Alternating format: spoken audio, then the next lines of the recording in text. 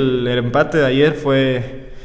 fue algo bien que nos cayó a nosotros porque se nos viene un partido difícil que es el La Paz. Pero si salimos con la misma actitud, con la misma garra, con la misma gana que salimos ayer a la cancha, yo creo que podemos hacer un, un buen partido y traernos algo también de allá que,